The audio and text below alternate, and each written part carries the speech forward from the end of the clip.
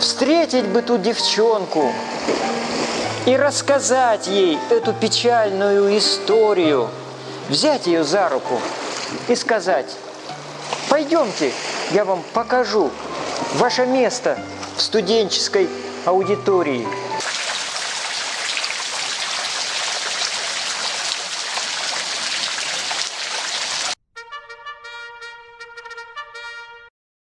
Здравствуйте, дорогие друзья! Это Анапа. Сегодня у нас 30 января 2019 года.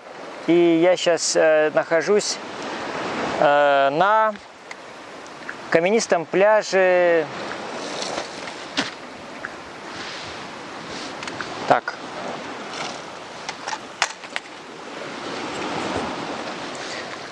И я сейчас нахожусь э, на каменистом пляже Малая бухта. А, вообще день сегодня хороший, теплый, 12 градусов, но вот сейчас уже, так скажем, времени где-то половина третьего, может к трем подходит. Вот. И, как видите, облачность, э, штормит море. Я здесь э, сижу, вокруг меня практически никого нету. Ну, сейчас давайте посмотрим, что здесь нас окружает.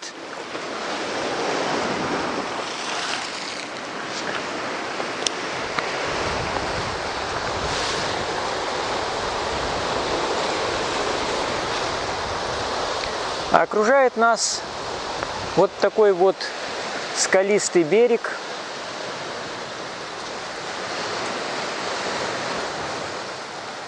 А здесь вот видите поставили заборчик, потому что это место опасное, могут упасть камни, сорваться. Вот поэтому так огородили. И вообще вот тут написано а, на территории так, ага. Где-то здесь даже написано, что это опасная зона, но не здесь. Ладно. А, навесы, теневые навесы, полуразобранные. Вот э, так они пережили зиму. Где-то даже вот норовят вообще развалиться. Так, что здесь я еще увидел такого интересного? Ну, во-первых, вот это вот укрепление, смотрите, бетонная такая подпорка. Бетонная подпорка установлена. Я даже не знаю, когда ее сделали. Ну, для того, чтобы если камень упадет, чтобы он упал на этот козырек и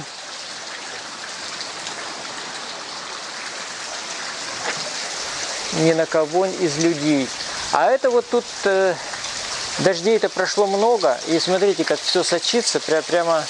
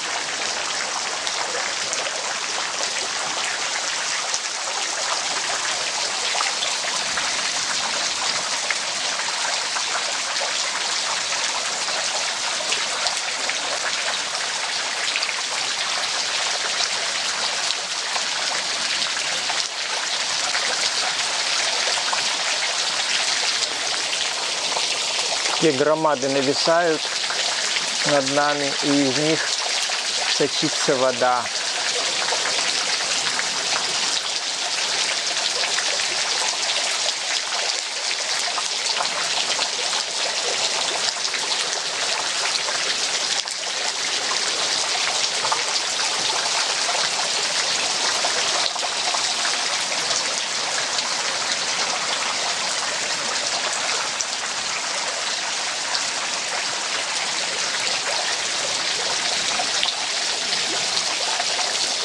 Этот кадр можно даже сделать на заставку. Довольно так живописно все это выглядит.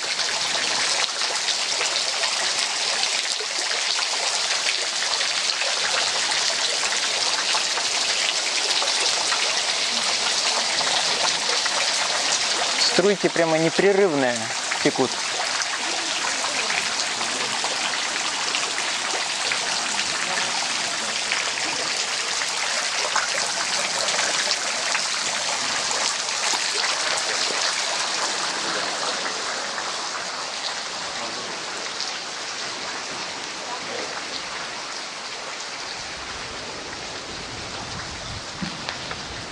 Слава Здравствуйте, героям слава.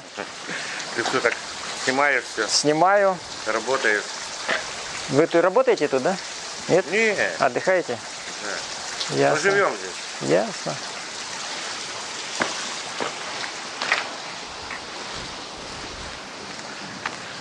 Казак наш. Такое традиционное было приветствие Слава Кубани, героям слава. Ну, я не знаю, есть, конечно, какие-то противники этого приветствия. Я вот в них ничего э, такого оскорбительного для ни для кого не слышу. Ну, что такое слава Кубани? То есть э, вполне такой лозунг можно где-то даже э, прочитать на зданиях там, на баннерах придорожных. Почему бы нет? Ну, слава Кубани, да слава Кубани. Также и ответ героям слава. Ну, если слова переставить, то будет э, слава героям. Ну, тоже ничего в этих э, словах такого страшного я не вижу.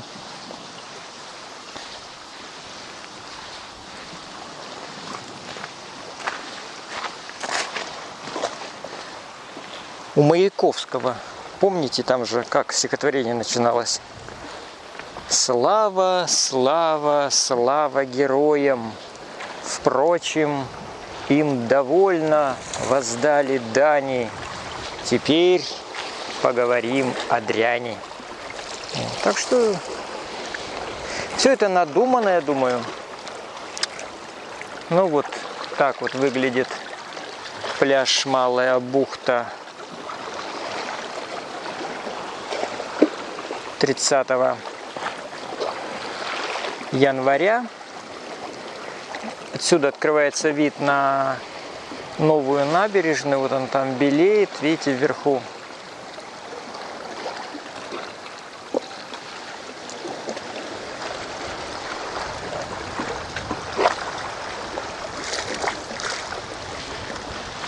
Ну и сейчас я пройду.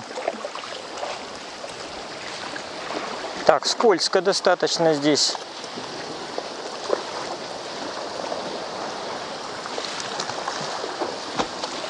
Сейчас, если волна ударит, меня может тут обрызгать, поэтому надо, я думаю, здесь быстрее проходить.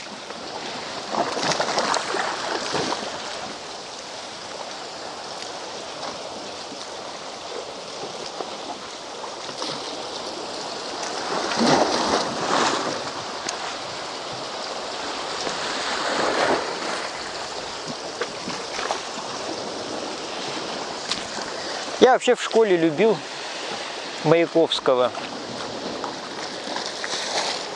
И как-то говорили, что читать его очень трудно. Но мне очень нравилось и стихи о советском паспорте, и товарищу Нетта. Я до сих пор помню. Я недаром вздрогнул, незагробный вздор в порт, горячий, как расплавленное лето, разворачивался и входил товарищ Теодор Нетте. Это он, я узнаю его в блюдечках очках спасательных кругов. Подойди сюда, тебе не мелко, от Батума чай котлами покипел. Помнишь, Нетта, в бытность человеком Ты чаи со мной пивал в дип-купе. Медлил ты, нахрапывали сони, Глаз кося в печати сургуча. Напролет болтал о Ромке Якобсоне И смешно потел, стихи уча. Засыпал к утру, курок аж палец свел. Суньтеся, кому охота. Думал ли, что через год всего Встречусь я с тобою с пароходом.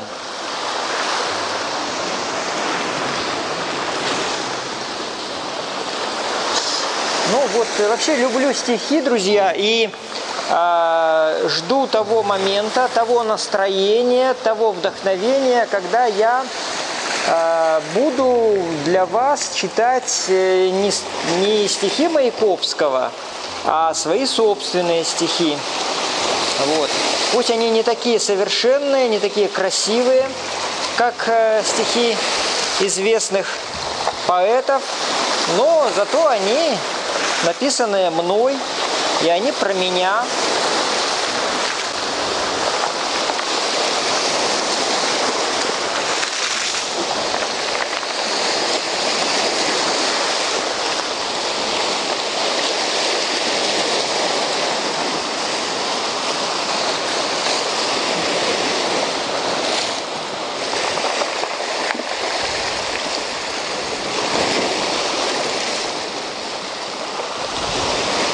Я как-то однажды даже а, подражал, а, пытался подражать Маяковскому, а, когда писал стихотворение, которое называется «Пощечина». Я сейчас попробую его прочитать наизусть, хотя вот знаете, я не люблю читать э, свои стихи наизусть, но все-таки немножечко сейчас вот такое лирическое, в какую-то лирическую волну я опять впал здесь на море. Я вам говорил, что море оно возбуждает. Вот, поэтому а, прочитаю, попробую.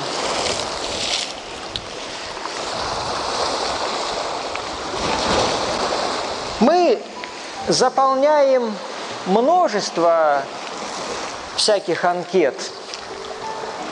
И если спросит меня какая-нибудь придирчивая анкета место вашей учебы, отвечу университет, студент, заочник юридического факультета. Отвечу на этот вопрос простой и пот на лбу выступит, как роса на плитах каменных. До сих пор не забуду слезы девчонки той, провалившейся на вступительных экзаменах.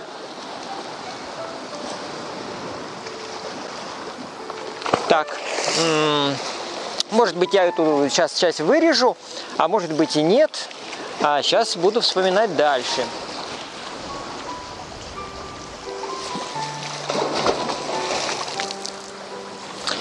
Не могу вспомнить. В общем, там дальше были такие строчки.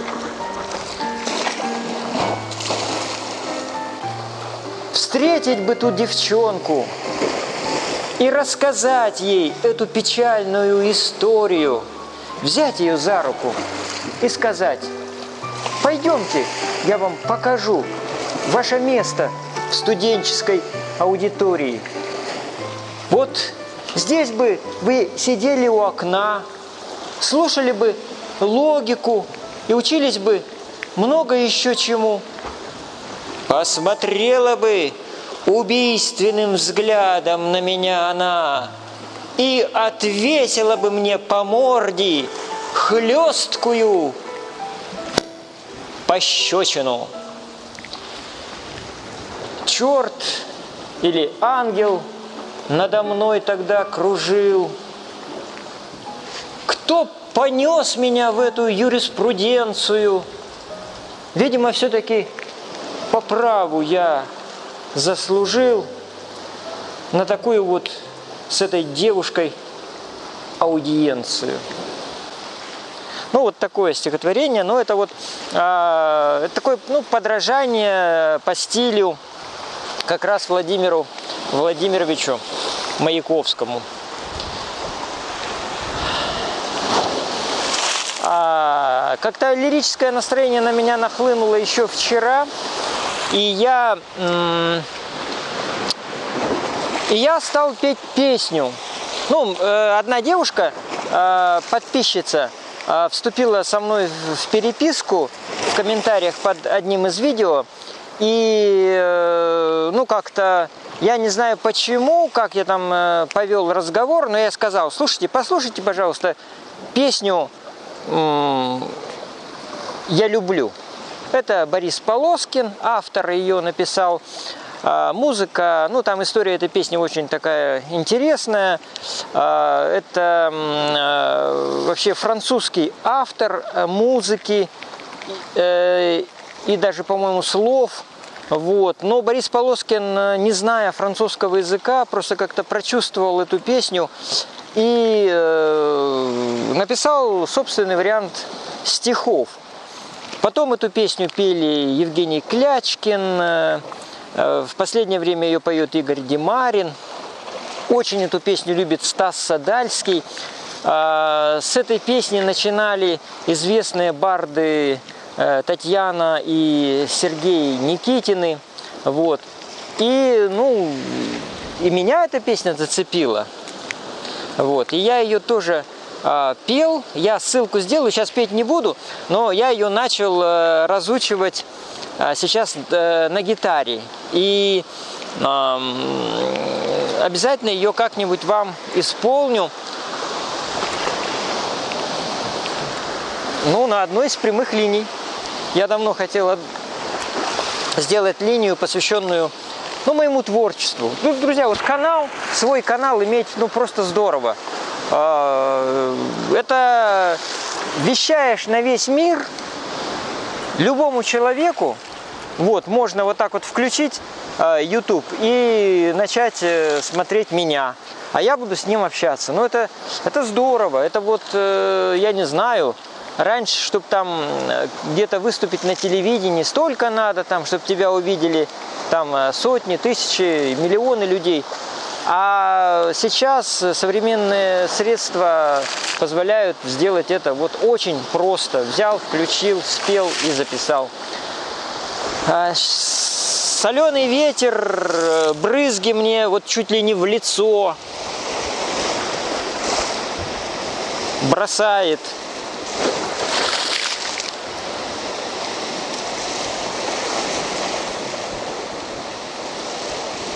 Ну брось еще, брось.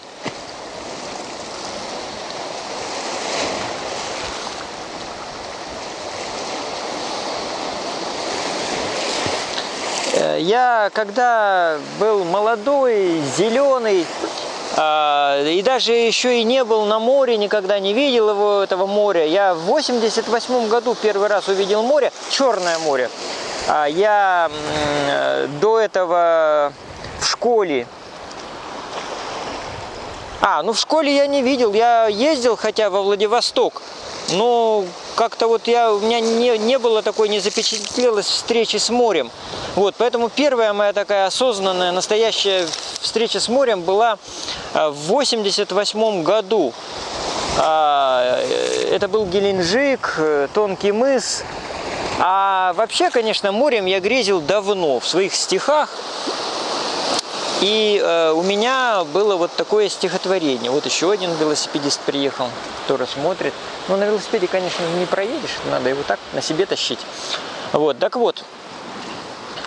А, есть у меня такое стихотворение, я его тоже включу в сборник свой. Кстати, я же делаю сборник стихов, а сейчас над ним работаю, так, периодически. И в этом году, я думаю, он увидит свет. А, и вы все тоже можете стать э, его обладателем. Это так же просто, как э, вот э, снять ролик на YouTube А, Итак, я писал стихи, и вот стихотворение у меня одно называется «Письмо незнакомки».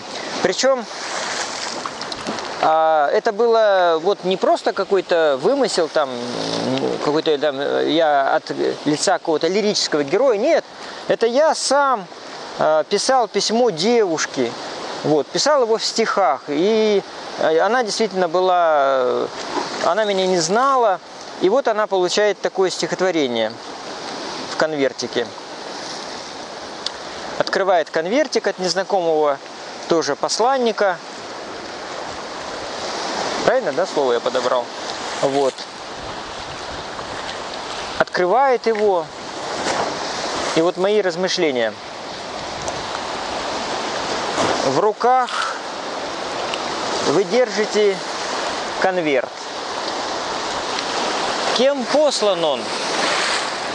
И чьей рукой так мелко испещрен листок?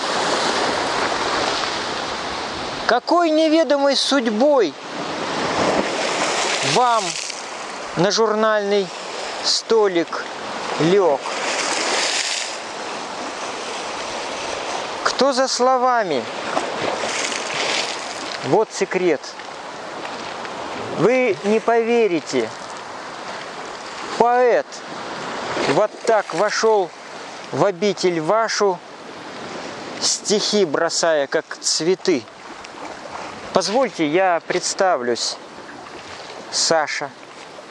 Я просто Саша из Читы.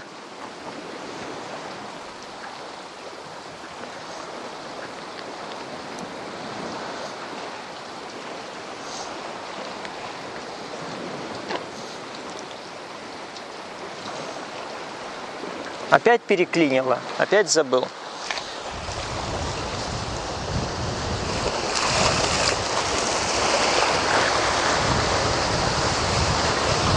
Ну, ладно, досочиню.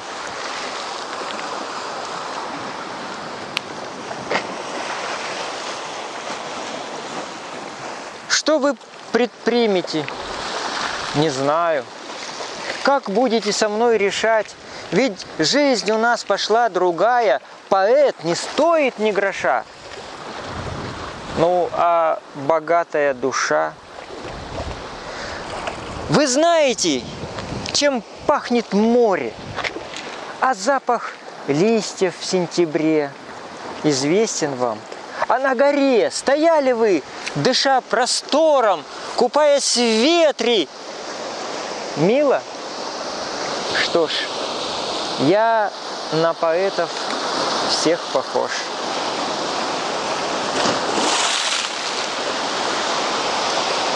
Ну, все, в общем-то. А, ну, это не полное стихотворение, но ладно, хоть так. В общем-то, это не какой-то там концерт, это просто я а, взбрело в, гору, в голову, да я вот и читаю стихи. Вот. А вообще-то а, а почитайте вам Высоцкого. Вот 25 января а, был очередной день рождения Высоцкого. Я пытался смотреть э, передачу «Своя колея», но почему-то она в этом году нового выпуска не было. Вот. э, Почему здесь я вот это стихотворение? А вот потому что плиты, и там будут слова такие, и вы сразу поймете, что чем это стихотворение навеяно. Хотя оно грустное.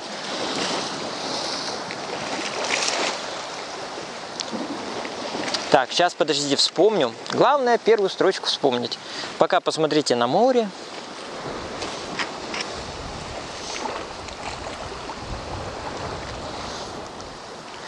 А стихотворение называется «Памятник».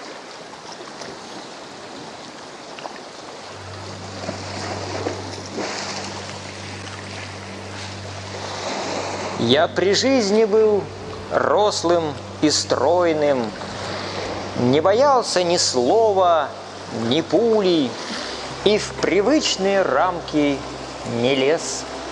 Но с тех пор, как считаюсь покойным, Охромили меня и согнули, К пьедесталу прибив Ахиллес. Не стряхнуть мне гранитного мяса И не вытащить из постамента Ахиллесову эту пету И железные ребра каркаса Мертво схвачены слоем цемента Только судороги по хребту я при жизни был рослым и стройным, нати смерти. Я не знал, что подвергнусь сужению после смерти. Но в привычные рамки я всажен наспор вбили, а косую неровную сажень распрямили. И с меня, когда взял я да умер, живо маску посмертную сняли расторопные члены семьи. И не знаю, кто их надоумил, только с гипса в чистую стесали азиатские скулы мои. Мне такое не мнилось, не снилось, И считал я, что мне не грозило Оказаться всех мертвых мертвей, Но поверхность на слепке лоснилась И могильную скукой сквозила Из беззубой улыбки моей. Я стоял, в покрывало упрятан, Все там будем я орал в то же время кастратом В уши людям саван сдернули. Как я обужен нати смерти. Неужели такой я вам нужен? После смерти? Командора шаги, злые игулки. Я решил, как во времени оном, Не пройтись ли по плитам, скользя и шарахнулись толпы в проулки, Когда вырвал я ногу со стоном, И осыпались камни с меня. Накренился я, гол безобразен, Но и падая, вылез из кожи, Дотянулся железной клюкой. А когда уже грохнулся на земь из разорванных рупоров, все же прохрипел я, похоже, живой. И паденье меня не согнуло и не сломало, И торчат мои острые скулы из металла. Не умел я, как было угодно, шито-крыто, Я, напротив, ушел всенародно из гранита. Ну вот такое стихотворение. Одну только строчку я переврал. Вот, у меня какая-то такая вот э, манера, я замечаю сейчас. А, я на ходу придумываю строчки, вот, э, вставляю их. Вот, ну, ладно. Я ведь тоже не готовился, не специально там ничего не читал. Вот, но, по крайней мере, вот э, рассказал вам такое стихотворение. Может быть, среди вас тоже есть поклонники творчества Высоцкого, и вы тоже получили, ну, какое-то, может быть, удовольствие, слушая его. А вот кто-то монетку, друзья, смотрите, бросил и не добросил. 10 копеек. Вот. Ржавенькая такая. А может быть, вынесла морем. Вот. Ну, давайте бросим ее тоже.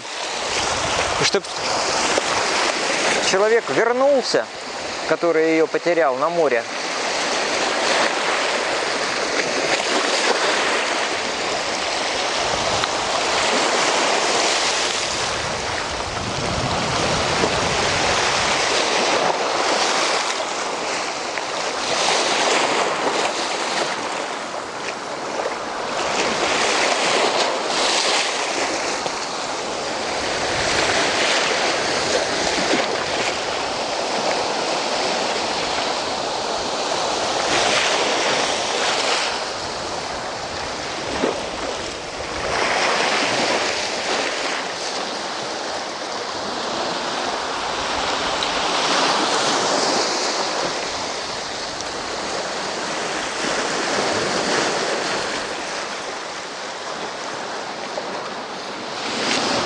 Наскальные надписи. Тут были топовые люди. Топ. Набережные Челны. Топ. Nike. Пловцы. Лучшие пловцы. Ну вот видите, вот Привет э, в набережные Челны лучшим пловцам.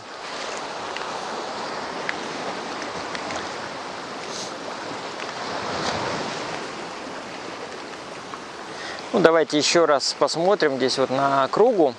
Итак, я нахожусь на пляже а, Малая бухта. Это каменистый пляж, ну, галечный можно его называть. Но я как-то сейчас а, в свете правды, который я несу, я буду называть все своими именами. Ну, может быть, конечно, и галечный где-то там вот. Э, а вообще это, конечно, камни. Какая-то галька, да? Это просто камни, камни э, большие, валуны.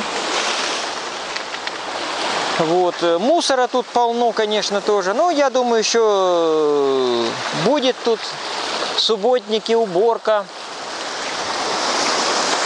Все будет. Будет лето.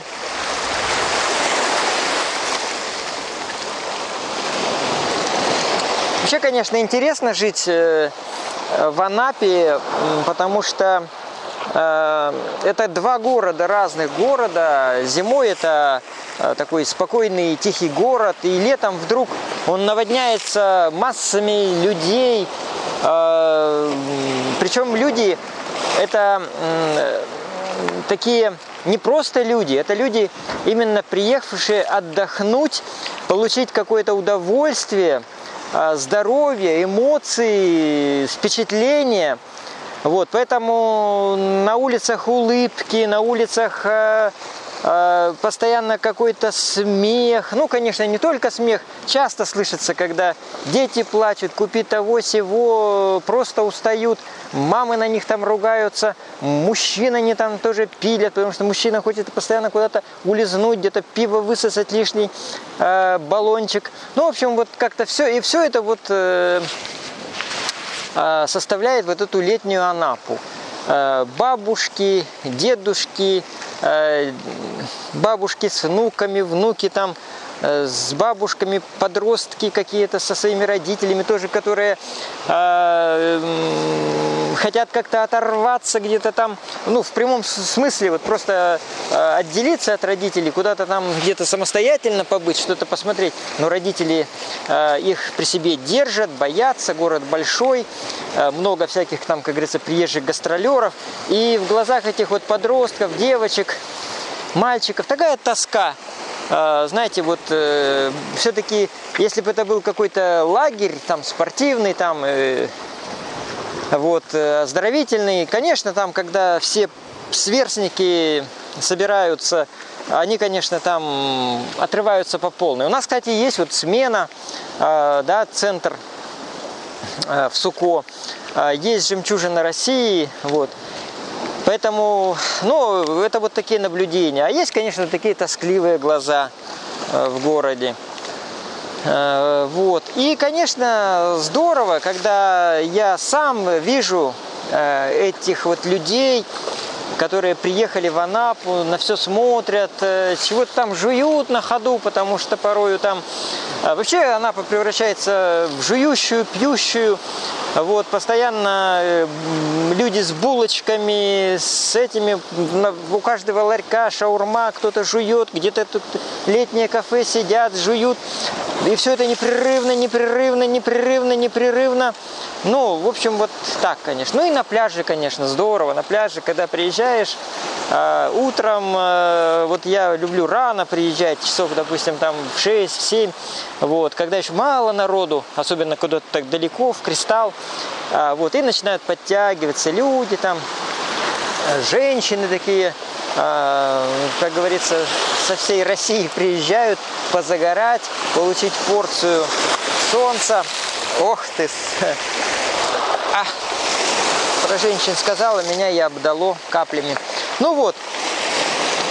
А, ну, вообще, конечно, здорово летом и э, чувствуется уже скоро, вот февраль скоро наступает. Друзья, я, кстати, э, 1 февраля еду в Севастополь.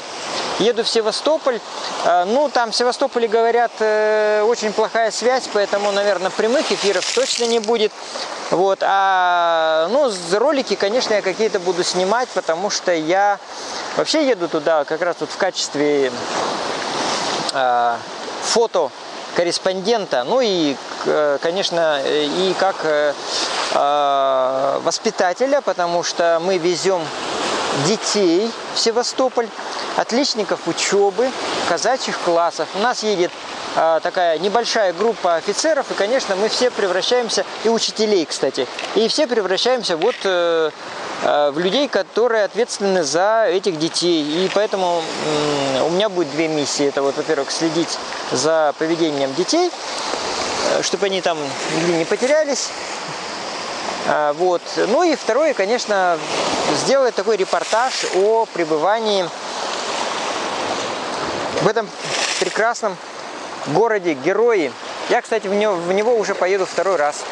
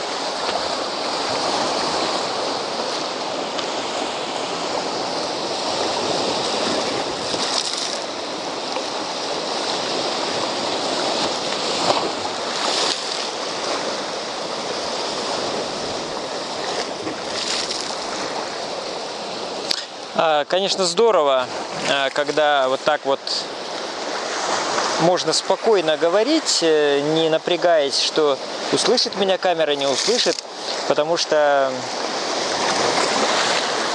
потому что используется звукозаписывающая э, аппаратура.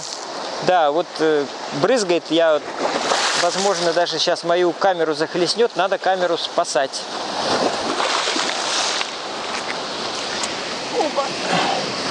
Ну вот, казак возвращается наш. Там вот идет. Ну, это мой, собственно, велосипед, на котором я сюда приехал. А, Ну и я думаю, хороший был репортаж сегодня. А, Не будем его затягивать. Э, Я думаю, послушали и стихи, и какие-то мои опять рассказы. Поэтому, друзья, э, всего вам доброго. До свидания. Кто не подписан на мой канал, ставьте э, лайки. Смотрите мои другие видео, которые сейчас вот здесь вот всплывут. Памс, памс. И всего хорошего. До следующих встреч в Анапе.